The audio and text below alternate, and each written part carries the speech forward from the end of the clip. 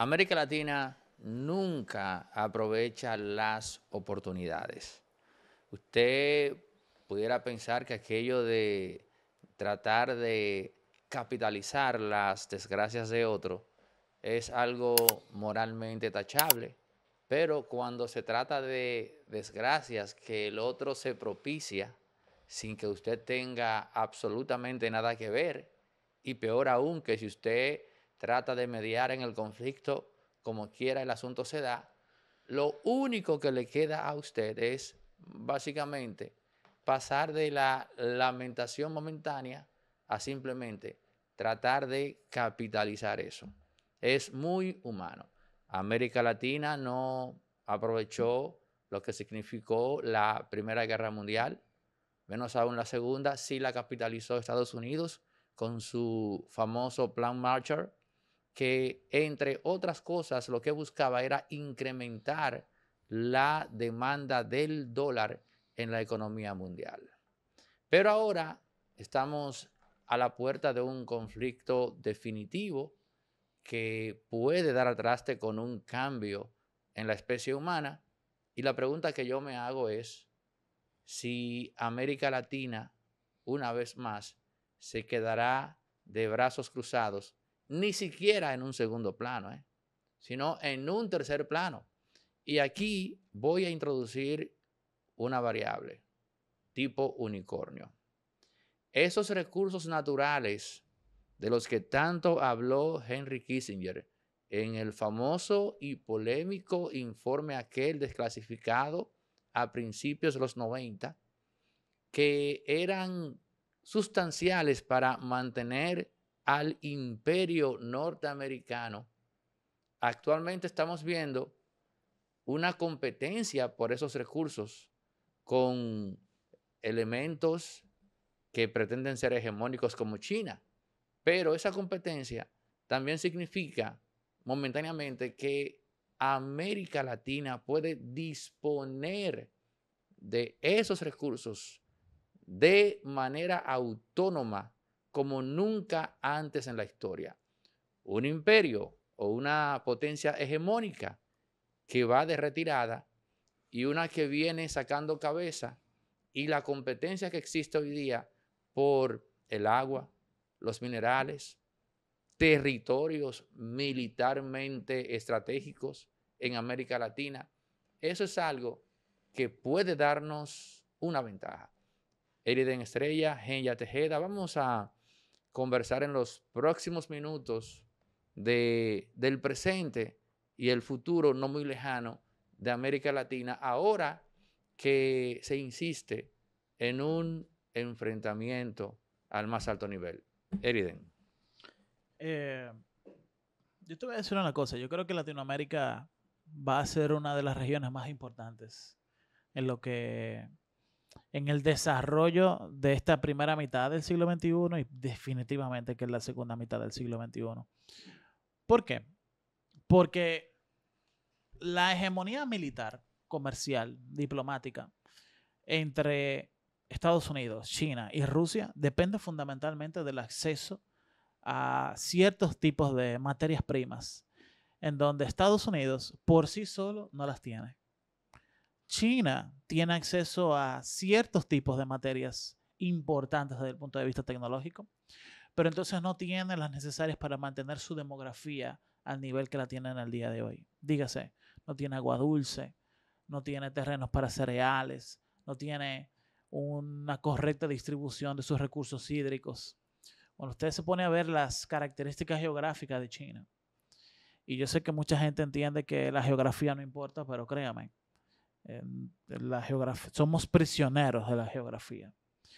China continental tiene básicamente 22, eh, 23% de todo su territorio que es realmente cultivable, todo lo demás es absoluta y completamente roca continental.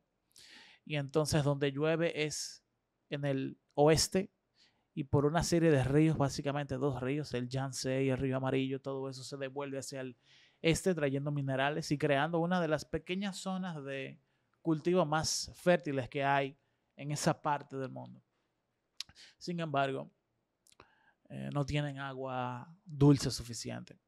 En cambio, Rusia, que comparte masa continental con China, tiene 45% de todo el agua dulce del mundo, cuando solamente tiene el 2% de la población mundial. Estados Unidos solamente tiene 308 millones de personas, aunque son los 308 millones de personas con mayor poder adquisitivo del mundo. Sin embargo, tienen el problema de que todo hay que traerlo de otras partes del mundo para ser consumido en Estados Unidos. El único cambio realmente que ha tenido la geografía del equilibrio de las potencias mundiales en el mundo es que mediante tecnología, dígase hidrofracturación, Estados Unidos ha podido ser por primera vez hasta cierto punto independiente en materia energética. Ya no tiene que traer tanto petróleo de Arabia Saudí o de los países del Golfo Pérsico. Y Estados Unidos está consumiendo ahora entre 19.5 19.7 millones de barriles de crudo por día, de los cuales Estados Unidos se autosuple alrededor de 11.4 millones. Anteriormente hablando eran 7, 6. Estados Unidos siempre ha producido petróleo, pero no tanto en la cantidad que lo está haciendo ahora por la implementación de tecnología. Entonces, la pregunta es, ¿dónde están los recursos naturales que Estados Unidos, Rusia y China necesitan? Están en Latinoamérica. Ahora, vamos a, vamos a, vamos a pasar ahora a Genya. Vamos a dar ese puntito ahí. Sí, y siendo consonas buenas, siendo consonas con, con, el tema de la eh, hidrofracturación, eh, y realmente sí necesita de América Latina, principalmente, por ejemplo, Dominicana, vamos a hablar de República Dominicana, eh, las cales para el tratamiento de, de agua es fundamental, principalmente para, como recurso para tratar el agua que se consume en Estados Unidos y que se transporta a través y pasa a través de Puerto Rico. esa es la ruta principal. Em, entonces, básicamente sí, el tema de la, de la geografía, de la posición geográfica, de la ruta marítima, de la navegabilidad también. Por eso es tan fundamental el canal de Panamá, por ejemplo, eh, y la preocupación también sobre la sedimentación que tiene, eh, lo que cuesta, o sea, los trillones que le cuesta a los armadores, a los navieros, a, a, genera una situación país porque se arman unos verdaderos tapones, pero es porque necesitan esa ruta de eh, navegabilidad, porque más allá de llevar el material per se, es también el, vehículo para obtener el material como tal, en este caso el agua, con el tratamiento, con las, con las cales que se usan, con, la, con los minerales que se usan. Y, pues eh, definitivamente el concepto de que seamos o que eh, geopolíticamente aprovechemos todas esas oportunidades y dejemos el ludicismo eh, como en nuestras gobernanzas eh, y el, tema ideológico y seamos un poquito más realistas en cuanto a la captación de, oportunidades eh, que se dan, por ejemplo, con lo que acontece, la situación que tiene ahora mismo Estados Unidos de cara al mundo, es vulnerable, definitivamente es vulnerable. ya no tiene la hegemonía, ya no tiene la credibilidad eh, que, antes, eh, y el liderazgo en los mercados que antes ostentaba. Y algo que está aprovechando realmente China en este momento.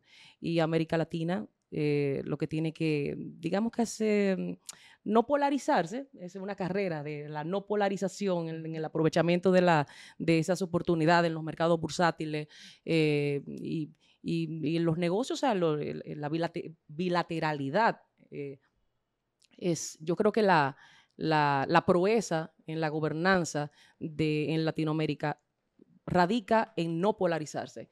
Hay un discurso que va a tener que, que van a tener que suprimir para entonces, para entonces enfocarse más en el aspecto comercial, porque al final de la jornada hay una situación país que también caracteriza, aunque hay gente que tiene la retórica de que América Latina tiene que convertirse en una, no hay cosas más disímiles, por ejemplo, que, y hemos de verlo ahora con nuestro vecino, y nosotros. O sea, no hay cosa más mm. que, compartimos un territorio, pero somos totalmente disímiles. Entonces, en ese sentido, eh, hay, que, hay que apostar a una gobernanza eh, enfocada en aprovechar comercialmente esas oportunidades eh, y dejando de lado el ludicismo, siempre para conveniencia, ¿verdad? De la, pues de la, de la población. Hay un, hay un factor, Eriden, que hay dos políticos latinos que están promoviendo en una vertiente un factor interesante en su discurso, que es básicamente la no demonización de ese proceso eh, socioeconómico histórico que utilizó Estados Unidos para alcanzar su desarrollo y hegemonía. Y esos políticos son, ustedes lo imaginarán ya, eh, Javier Milei y Nayib Bukele, que están echando mano de, mira, todo eso que durante todo este tiempo hemos escuchado decir a nuestros políticos que es malo, resulta que eso es lo que le ha permitido a países como Estados Unidos e incluso esa mixtura que ha hecho China de su socialismo de mercado, es lo que les ha permitido avanzar y nosotros vamos a y que incluso Eriden ya se ha dicho, por ejemplo, que Bukele contradice el liberalismo en el sentido de que todo lo que él hace lo está promoviendo desde el Estado, o sea, que sería a simple vista un presidente estatista. Y yo digo, no, no es así, porque el gran logro de Bukele a través del Estado no ha sido otro que garantizarle seguridad a su ciudadanía. Y cuando ustedes se van a la ortodoxia del liberalismo de Adam Smith, precisamente es a eso que se refiere en cuanto al rol del Estado. el rol principal del Estado es garantizarle seguridad a la gente para que ésta a su vez pueda con tranquilidad dedicarse al quehacer comercial que le traerá riqueza a la nación. Por lo tanto, entiendo con toda, con brutal seguridad, que Bukele no ha traicionado al liberalismo clásico. Pero ambos, Milei y él, y esto es para mí interesante, porque todo aquel que conoce la historia del pensamiento político latino sabe que desde Rubén Darío hasta la fecha hay mucho de demonizar a Calibán. ¿Y quién es Calibán? Bueno, Calibán en aquel entonces, cuando venía sacando cabeza, a finales del siglo XIX, es Estados Unidos de Norteamérica, en aquella, aquella, aquel texto titulado El triunfo de Calibán, refiriéndose precisamente a Estados Unidos. Entonces, desde ese entonces se viene hablando de, todo, ¿no? En contra de. Y nunca nos hemos, eh, nos hemos detenido a pensar, por un momento, espérate, ¿qué están haciendo ellos aparte de, entre comillas, explotarnos, que les permite que económica y socialmente estén mejor que nosotros. Siempre nos enfocamos en lo malo. Y en lo malo, pues metimos todos, o todo, incluyendo el modelo económico que les garantizó prosperidad. Eriden. Vamos por partes. El imperialismo es malo. Sobre todo si no estás en el imperio. No importa. No, el imperialismo, no importa el imperialismo es, malo si estás fuera de. No, Luego dale, dale. No importa si es imperialismo estadounidense o imperialismo ruso o imperialismo chino. El, imperialismo implica la extracción de recursos de donde no se producen desde, donde, desde donde se producen hacia donde no se producen bajo, un, bajo una regla de imposición y de obligatoriedad. Latinoamérica es lo que es por muchas razones, por factores internos, pero también por factores externos. Nosotros no nos hemos desarrollado porque Estados Unidos no ha permitido que Latinoamérica se desarrolle, punto. ¿Eso es un ejercicio retórico o eso es un statement tuyo? Vamos a ver, repite eso. La CIA no, no. Dijiste que, dijiste que América Latina no se ha desarrollado. La CIA, que es una organización. Por, pero espérate, tú dices que no se ha desarrollado por culpa de Estados Unidos. Por acción activa estadounidense. Bueno, en total desacuerdo con eso, pero continúa. La CIA ha realizado más de 50 golpes de Estado en el mundo entero identificados todos desde el punto de vista estratégico, táctico, histórico, y más de la mitad de los mismos han sido Latinoamérica. El proceso del tiranicismo latinoamericano fue propiciado por Estados Unidos, Porque déjame colocar en estos países personas que aunque sean asesinos sociales, les conviene a los mejores intereses estadounidenses que estén ahí. Y el proceso de destiranización de Latinoamérica fue porque el modelo estadounidense, que en un momento le convenía a los tiranos, cambió. Ellos querían otras cosas. Y por eso en Latinoamérica dejaron de haber tiranos. Si Latinoamérica hubiese estado bajo un verdadero proceso de competencia de mercado, internacionalización, desarrollo de factores de producción internos, para luego pasar a competir en los mercados internacionales, el de Latinoamérica hoy sería completamente diferente.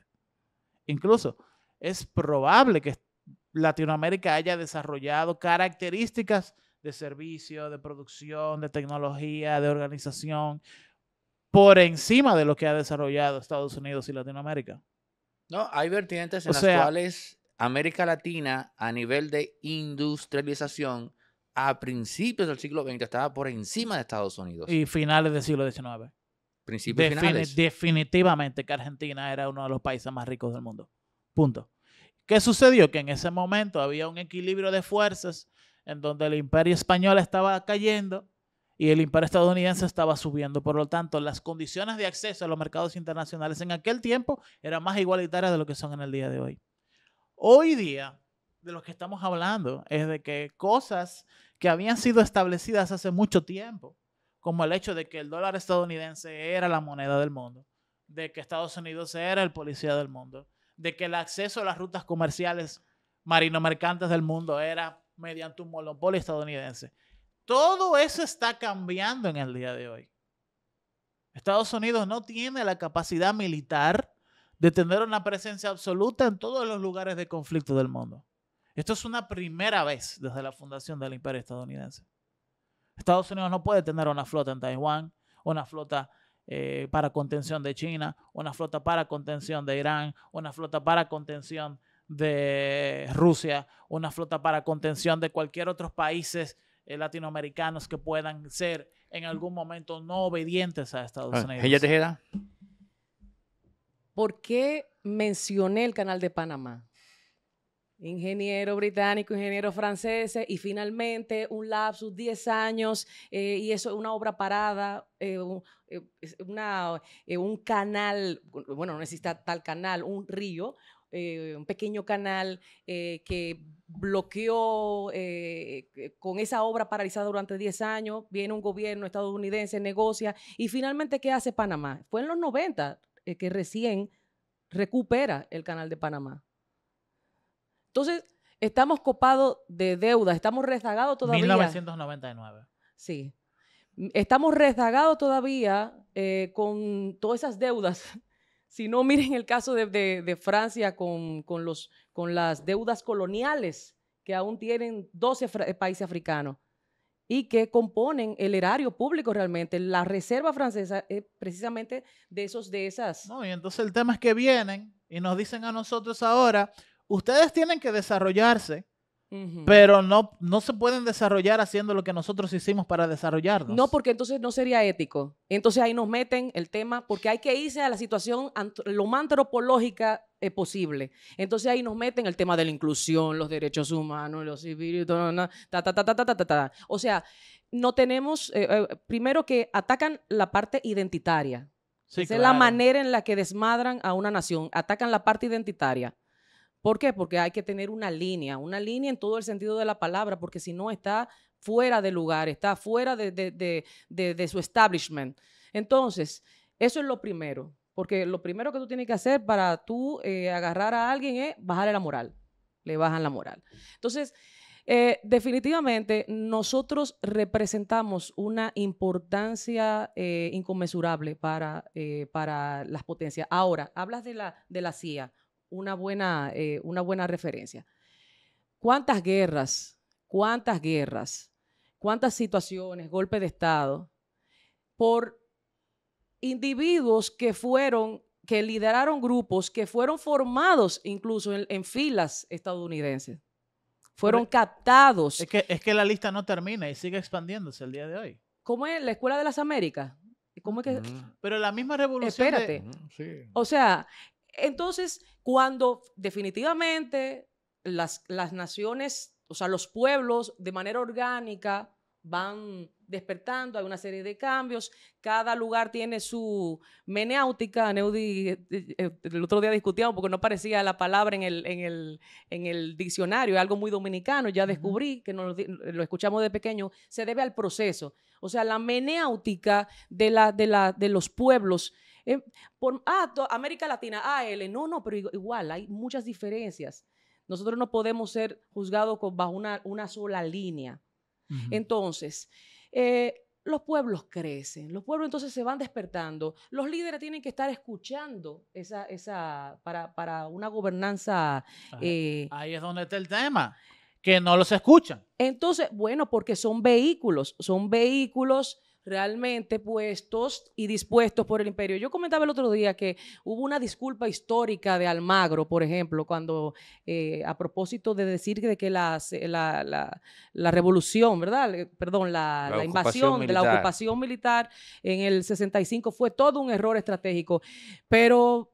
Pero tienen una lista muy larga de errores estratégicos y de, y de guerras eh, en, en naciones que lo que han querido es independencia y han pintado al liderazgo orgánico que sale de las masas como le empiezan y le hacen todo, pues todo una, eh, un pedigrí de, de- malvado y criminal y, y una persecución. Es, es una política sucia, es una política sucia y la gente ya, digámoslo así, que por el alcance del, del cuarto poder y las redes, o sea, las plataformas digitales, aunque hay mucha futilería, también eso tiene su contra, hay mucha futilería, hay mucha, mucha entretención, pero la gente está muy despierta, está muy despierta a entenderse incluso dentro de ese contexto y entender y querer conocer de dónde se origina cada cosa y se están estableciendo responsabilidades.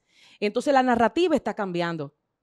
Y ya ellos no pueden contrarrestarlo porque ya se le está yendo encima. Se le está yendo encima. Cada país latinoamericano es un pequeño sistema en donde existen entre, entre 5 a 20 grupos económicos, en donde los candidatos democráticos tienen que hacer negociaciones con esos grupos empresariales para dos cosas.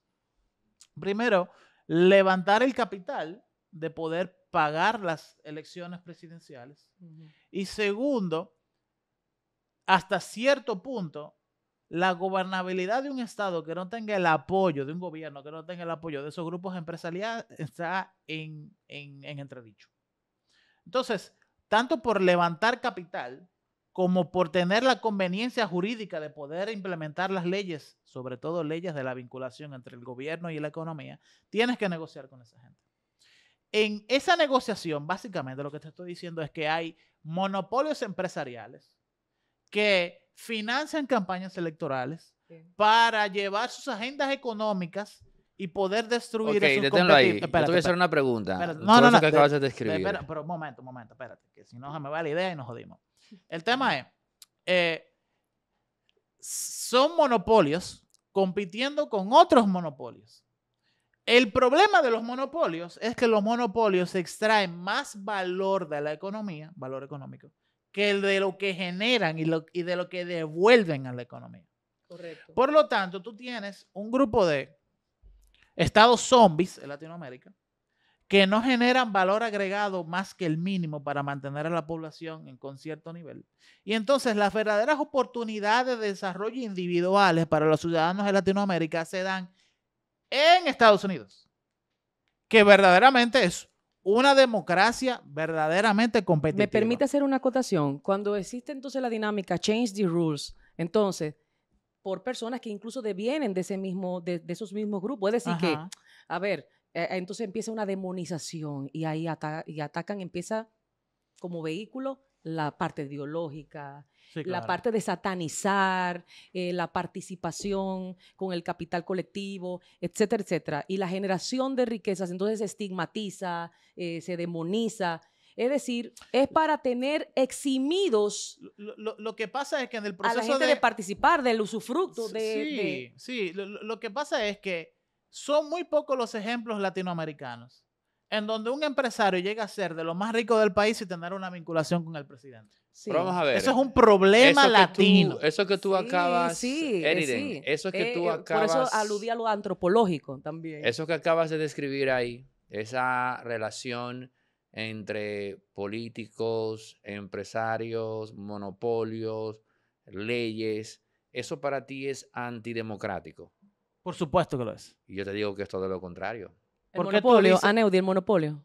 ¿Por qué No, tú oye, dices escucha, que es lo la contrario? relación que él ha descrito entre políticos, empresarios y sociedad, te pregunté si era antidemocrático. Es Y antidemocrático. tú has dicho categóricamente que sí, Sí. Y yo te digo a ti que es todo lo contrario. ¿Por qué? Eso es democracia. Porque lo contrario es tú desarticular eso y dejar entonces todo en manos de la mayoría, en donde pasaríamos a la tiranía de las masas.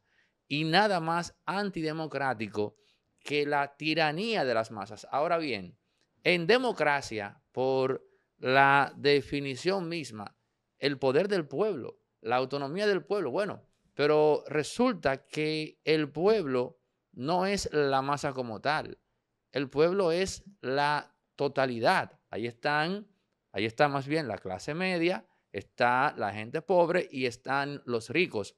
Tú siempre vas a tener tensión entre todos los elementos que componen una sociedad.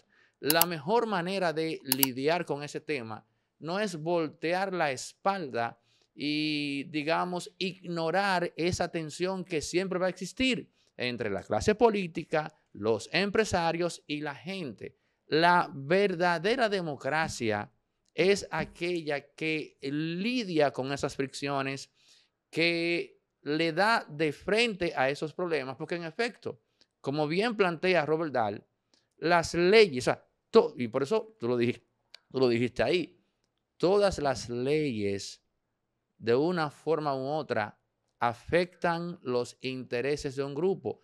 Toda ley siempre beneficia a un grupo en detrimento del otro. Eso genera tensión. Por eso es que él describe, o él Es que, dice, es que eso no debe ser. Espérate, no, espérate. Por eso es que él dice, por ejemplo, que la democracia no es que deje de ser mala, es que simplemente es el, es el sistema menos malo de cara al individuo. Tú estás hablando de algo ideal. Tú siempre vas a tener, o sea, bueno, vete a la historia. No, tú no, no, siempre has tenido tensión. Es que- Lo que tú tienes que crear socialmente hablando son mecanismos niveladores. La ficción, por ejemplo, la ficción de la igualdad es precisamente eso, un mecanismo nivelador de cara a las tensiones que siempre se padecen en la vida en sociedad. Eso está muy bueno lo que tú dices.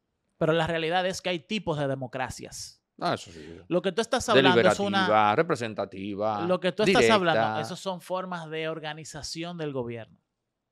Hay dos tipos de democracias. No, hay, hay- muchos tipos de democracia. hay Te dije tres ya rápidamente. Escúchame, esos son tipos de organización del Estado. Eso es otra cosa. Eso es lidiar con los conflictos que siempre van a estar. O sea, Anécdota. la democracia ideal plantea eso que tú dices. Ahora, la democracia no, no. real. Pero, ok, pero hablemos de marcos. ¿Por qué existen los marcos? Para evitar con las, eso, las con las general- fricciones. para evitar las generalizaciones existen los marcos.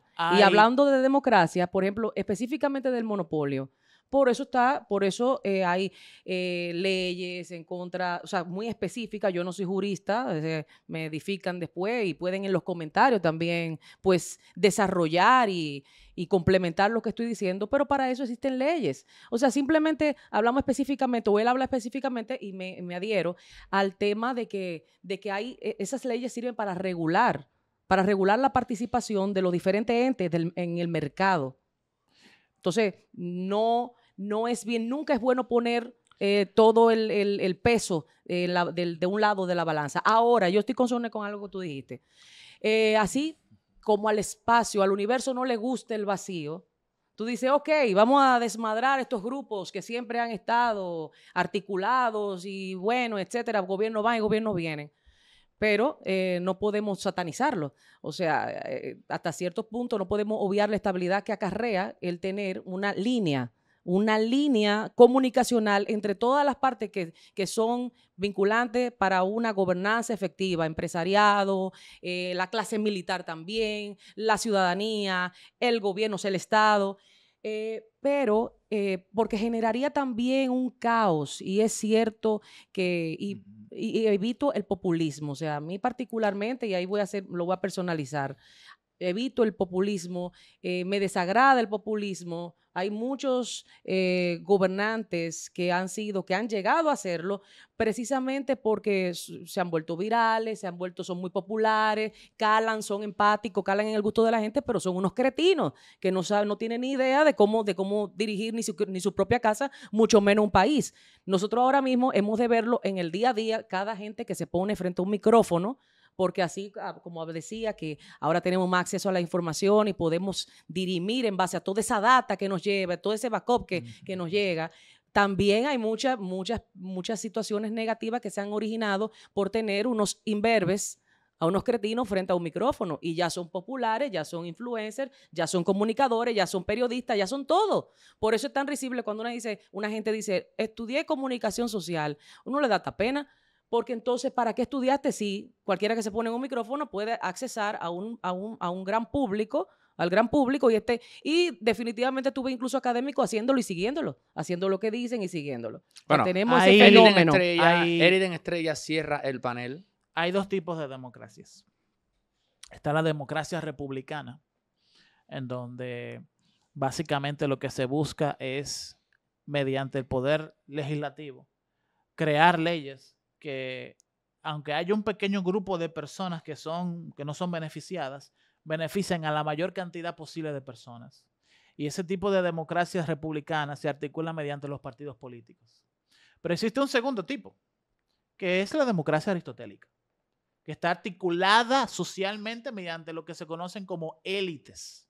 Hay élites militares, élites políticas, élites empresariales, y la gran diferencia entre las dos básicamente recae en la repartición de oportunidades, en donde eh, los partidos políticos, por lo general, son instituciones que no tienen fines de lucro y donde cualquier persona que tenga algo de conocimiento que aportar puede generalmente entrar en ellos y hacerse una carrera en donde puede legislar, puede optar por posiciones eh, de voto democrático.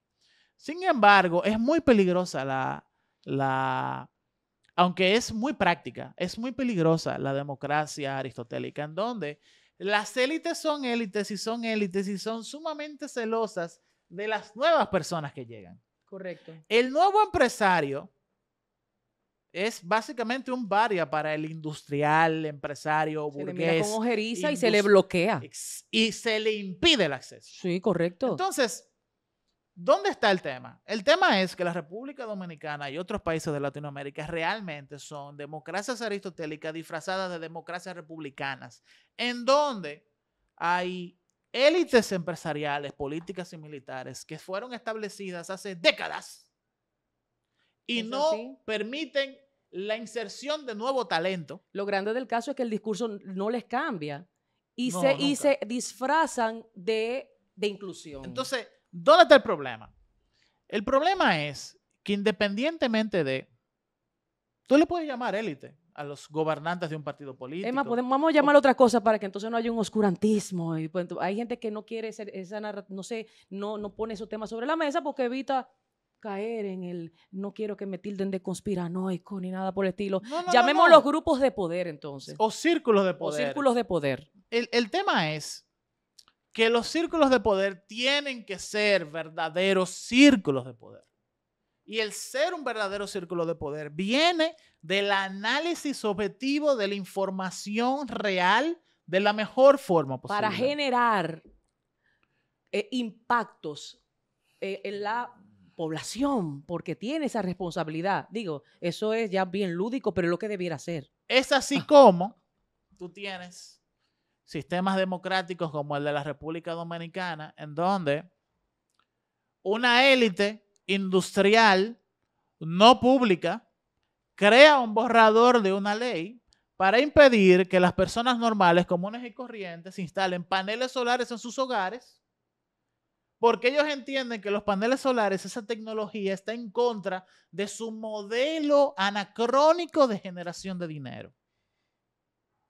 Es así como hay una supuesta élite o círculo de poder periodístico que entiende que hay medios digitales de comunicación que son mil veces más populares en el gusto de las personas y ellos se sienten celosos por eso. Entonces él, en contubernio con el gobierno, hacen una pieza legislativa de opinión pública, de control de la opinión pública, en donde el derecho al secreto de las fuentes periodísticas se reserva para los periodistas que trabajan en empresas que están fondeadas por la publicidad del Estado. Y entonces, mañana viene a Neudis, dice un tema que no le gusta a un gobernante y lo meten preso. Y no tiene derecho al privilegio de secreto de fuente. Entonces, he dado dos ejemplos que tienen cuando uno tiene una vinculación económica directa y otro tiene una vinculación económica indirecta, colateral, pero tiene un gran impacto social. Entonces, así se crean decenas y decenas y decenas de proyectos de ley que lo único que hacen es reducir la distribución de las oportunidades individuales de desarrollo. Y es así como tú ves que culturalmente la juventud de la República Dominicana y otros países de Latinoamérica quieren ir a otros sistemas, a otros países verdaderamente democráticos, verdaderamente con democracia republicana, porque en esos países, que hay que decirlo, Estados Unidos, Canadá, Europa, Taiwán, la misma China, en este momento es, uno, es, una, es un sistema socialista casi de nombre. Porque hay, un, lo dije, hay un Estado de Derecho se lo dije, sobre se lo dije al embajador saliente Shanrun, que ahora está en México. Le dije, usted no tiene ningún socialismo, usted tiene un capitalismo chino, llámenle así. Un capitalismo con unas características bueno, muy chinas. Que, que distribuye las oportunidades de desarrollo comercial de manera aleatoria a la gente. Pero cuando se llega a cierto punto, entonces ya el Estado entra. Estandariza. Esa es la estandarización. Entonces, lamentablemente, vivimos en una República Dominicana donde estos temas no se discuten en medios de comunicación tradicionales, que lo único que hacen es desinformar sí. y deseducar. Sí. Y que se alían al Estado para tergiversar el derecho a la opinión pública. Bueno, gracias a ustedes que... por llegar hasta esta de parte de esta conversación.